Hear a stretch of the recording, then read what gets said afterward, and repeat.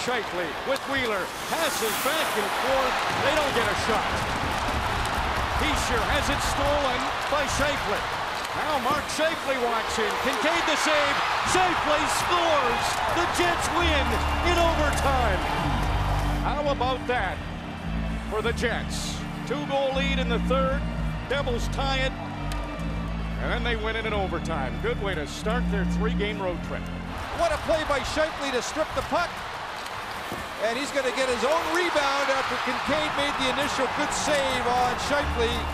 And the Winnipeg Jets, who blew the lead in the third period, get the game in overtime with an incredible solo effort by Scheifele, who had quite a night.